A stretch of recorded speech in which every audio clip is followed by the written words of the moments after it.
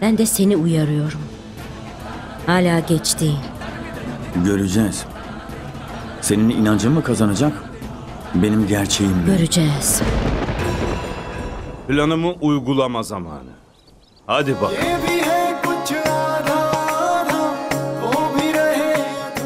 Bugünden sonra Harvatya'nın yüzünde sadece yara izleri göreceksin.